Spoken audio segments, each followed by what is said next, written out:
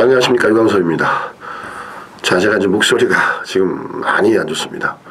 어, 그래서 어, 이렇게 설명을 드리는 거는 아마 이번 주는 힘들 것 같고 글로 대체하도록 하겠습니다. 아, 모든 방송을 글로 대체하도록 하겠습니다. 감기 몸살이 심하게 앓았는데 거의 몸 나가는데 목소리가 이렇게 잠겨버리니까 여기서 무리해버리면 뭐 다음 주까지 방송이 좀 힘들 것 같습니다. 그리고 또 팬 여러분께서 듣기에 좀 거북하실 것 같고요.